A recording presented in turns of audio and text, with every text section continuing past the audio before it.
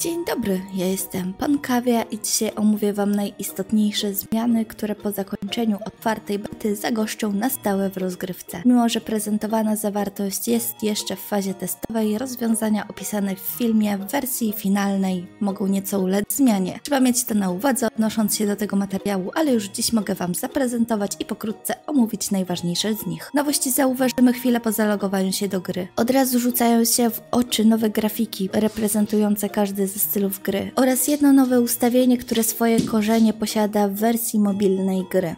Tryb relaksacyjny domyślnie jest skierowany dla nowych graczy. Jednoznacznie obniża próg wejścia do bezkompromisowego świata i przez pierwsze godziny nauki idealnie spełni rolę piaskownicy czy też placu zabaw, gdzie nowi gracze nauczą się stawiać swoje pierwsze kroki w świecie konstant. Tutaj gracze nie umrą z głodu od ciemności czynników atmosferycznych, takich jak przegrzanie czy chłód. Wszelkie otrzymane obrażenia są zredukowane o 35% i zawsze będzie można odrodzić się przy pomocy portalu. Usunięto ustawienie świata pozbawione gigantów oraz preferencje stylu gry, czyli informacji na temat hosta, serwera, przyjazny, kooperacyjny, waleczny i szaleństwo. Jednocześnie wasze istniejące już światy zostaną przypisane do tych pięciu już wspomnianych wcześniej ustawień. Trybu relaksacyjnego, standardowego survivalu, trybu dzikiego. To jest ustawienie, gdzie pojawiamy się w losowym miejscu, a po śmierci lądujemy z powrotem w lobby wyboru postaci, endlessa czy możliwości odradzania się przy portalu. Czy też trybu zgaszonych świateł, gdzie panuje wieczna ciemność. Dodatkowo otrzymaliśmy więcej nowych opcji do konfigurowania świata. Od teraz możemy zadecydować, czy spawn postaci ma być przy portalu, czy w randomowym miejscu,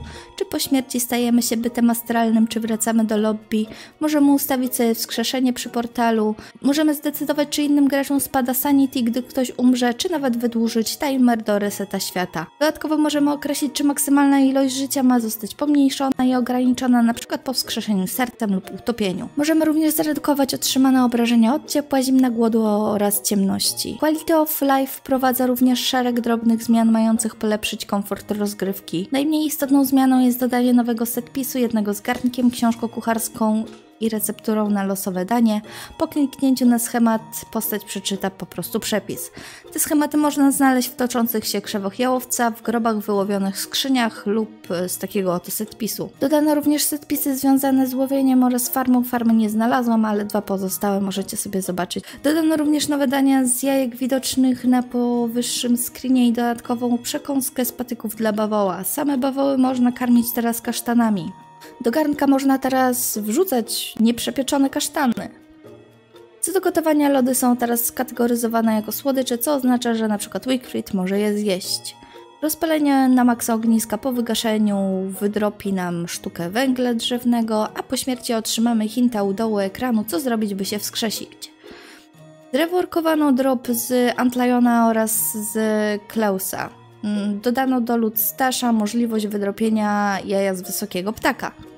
Jeżeli chodzi o Antliona, no to zmiany są tutaj ciekawsze. Po zabiciu tego bossa otrzymamy schemat na epicką czapkę, która wykupuje turfy znajdujące się pod graczem. Czapka ma również slody, do którego można załadować darnie, by analogicznie je sprawnie rozłożyć. Przedmiot będzie pomocny dla budowniczych lub by sprawnie rozstawić ścieżki pod walkę z większym zwierzakiem. Stosunkowo tani temek jeden kamień zantka, trzy świńskie dubki i pięć sztuk wełny z bawoła pozwoli nam wydajnie wykopywać darnie. Po wyjściu z jaskini otrzymamy chwilową odporność na obrażenia, co pozwoli uniknąć wielu dziwnych wypadków z nietoperzami lub jaskiniowymi królikami. Stół do kartografii ma teraz opcję swoistego recyklingu. Za włożenie do niego schematu otrzymamy w zamian czystą kartkę papirusu. Rewelacyjna opcja, by pozbyć się wszystkich wariujących się po bazie schematów z bossów czy blueprintów.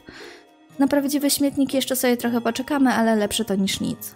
Strachę na wróble możemy ubierać teraz analogicznie do procesu przebierania postaci w szafie. Nareszcie samodzielnie możemy wytworzyć podłogę z archiw, potrzebujemy jedynie rozwiązać minigierkę związaną z Terrafirma Tamperem. W końcu możemy kraść turf z ruin. Dodatkowo otrzymaliśmy opcję wytworzenia tych darni przy antycznej maszynie pseudonauki. Przy pseudostacji wymienimy trzy sztuki papirusu na trzy zestawy schematów i takim sposobem możemy wybudować sobie ruiny na powierzchni. Moim zdaniem taniej jest tę podłogę po prostu ukreść. Do wyboru mamy same darnie z ruin oraz ich imitacje. Kolejna gratka dla budowniczych, by urozmaicić nieco bazy. Zostając w temacie darni otrzymaliśmy do wytworzenia przy maszynie nauki cztery nowe podłogi jeden nowy dywan i trzy kolorowe kamienne mozaiki. Nowe darnie są przepiękne, już nie mogę się doczekać, by spamować nimi w swoich bazach. Z kolejnych pomniejszych zmian od teraz bezdomne wysokie ptaki założą sobie nowe gniazdo, ale tylko na kamieniu lub gołej glebie. Siestolin i namiot mają teraz 15 użyć, namiot Waltera odnowi identyczne statystyki jak zwykły namiot, śpiwór z trawy odnowi nam trochę życia, a ciepły śpiwór z króliczych ogonków rozgrzeje nas do 40 stopni. Puszkę na ryby można teraz stawiać na pomoście, co jest logiczne i posiada ona 20 slotów. Przy regale Wickerbottom możemy otworzyć sobie prezent, jak przy innych maszynach nauki. Plecak izolacyjny i torba na nasiona są odporne na ogień, od teraz możemy naprawić amulet leniwego zbieracza koszmarnym paliwem. Jedno paliwo odnowi około 20% zużycia. Możemy również transmutować homary w ich lunarne wersje przy pomocą lunarnej esencji. Skoro omówiłam już najważniejsze drobne zmiany, czas przejść do tej najistotniejszej. No dobra, przyznaję, że są dwie istotne zmiany. Po pierwsze, otrzymaliśmy złote widły. Nareszcie otrzymaliśmy ostatni element złotej zestawy stołowej, czyli złoty widelec. Ma on blisko 600 użyć. Dajcie mi teraz tylko taki tulecetowy, a spełnicie mój najbardziej mokry sen. Złote widły powodują również ciarki na plecach ze względu na potencjalne zagrożenie występowania do nich niewidzialnego skina. Kończę już was straszyć, bo trzeba przeskoczyć do głównego tematu aktualizacji, czyli do teatru. Na każdym nowym czy też istniejącym już świecie pojawią się nowe setpisy związane z nową aktywnością w rozgrywce, jako jest teatr i odgrywanie przedstawienia podzielonego na trzy akty i sceny. Po pierwsze scena. Jeżeli wejdziemy w nią w interakcję, postać opowie nam co nieco o sobie. Przykładowo Maxwell przywoła na chwilę swoje dwie cieniste kopie. Zachęcam tutaj do odkrywania, co poszczególne postaci mają do pokazania. Po takiej interakcji w pobliżu sceny pojawią się różane psy gończe, które mają po 50 punktów zdrowia, zadają 10 punktów gołych obrażeń. Po ich zabiciu możemy otrzymać taki drop jak mocarna zbroja z trawy, pławiki przybory do szycia czy kar z górnika. Następnie kurtyna opada, sama scena nie jest już aktywna przez 5 dni. Istnieje jeszcze drugi rodzaj przedstawienia, ale do odtworzenia dobrego scenariusza będziemy potrzebować kostiumów. Pierwszy potrzebny kostium, strój lalki, otrzymamy z umieszczonego domyślnie przy scenie manekina. By poznać ciąg dalszych historii odblokować kolejne potrzebne kostiumy, musimy znaleźć drugi setpis związany z tematem bety. Występują na nim różane psy oraz marmurowa figura. Wszystko jest ustawione na nowym czerwonym dywanie, więc ciężko jest to przeoczyć. Każdego dnia możemy walczyć z psami o dwa losowe przebrania potrzebne nam do odegrania kolejnych scen. Kompletów przebrań jest aż dziewięć, trochę potrwa nim zdobędziemy je wszystkie. Mamy trzy formy porcelanowej lalki, nowa popękana uszkodzona, następnie króla królową, kowala, błazna, lustro oraz drzewo. Klikając na scenariusz umieszczony koło sceny możemy zobaczyć jaką część przedstawienia teraz gramy i jakich postaci będziemy potrzebować, by poznać ciąg dalszy historii. Więc zerkamy, czego potrzebujemy, przebieramy się, kumpli lub manekiny w potrzebne do danej sceny kostiumy, maksymalnie potrzebujemy trzech aktorów na scenie naraz i odgrywamy epickie, niesamowicie ekscytujące show, którego motywem przewodnim jest parafrazowana lorowa historia. Jednakże podczas spektaklu nie możemy nic robić, poruszać się, jeść czy też wykonać żadnej innej animacji, bo scenka się skanceluje i będziemy musieli zaczynać wszystko od nowa. Jak już wspomniałam, by ukończyć całe przedstawienie nie potrzebujemy kumpli, a w kostiumy możemy poubierać manekiny. Same manekiny oprócz wieszaka mogą pełniać funkcję do przechowywania uzbrojenia i wierzchniego odzienia. Na manekinie można również powiesić plecak lub oprzeć o niego dzidę, powiesić amulet, dać mu w łapę latarnię. Wszystko to pomoże uporządkować nawet najbardziej chaotyczną zbrojownię. Bardzo mi czegoś takiego brakowało, by zorganizować sprzęt, którym się, który się nie stakuje. Manekin jest do wytworzenia z dwóch pajęczych, dwóch desek i trzech sztuk trawy.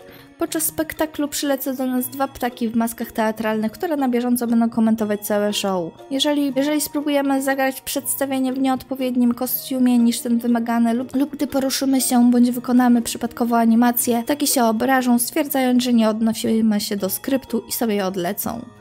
Za odegranie całego spektakla nie ma żadnej nagrody, jednakże sama zabawa w teatr jest ciekawą nową aktywnością. Dodatkowo obok sceny są umiejscowione dwa podejrzane stoliki. Jeżeli wejdziemy z nimi w interakcję za pomocą broni lub młotka, zaatakują nas. Na ten czas nie można z nich pozyskać żadnego schematu. Ich łapska mają chory zasięg i mogą jedynie skutecznie uszkodzić gracza. Jeśli chodzi o betę i przyszłe zmiany w grze, to by było na tyle. W opisie zostawiam link do pełnego artykułu o nadchodzących zmianach. To byłam ja, Pan Kawia. Widzimy się w kolejnych materiałach, które już niebawem. Pa!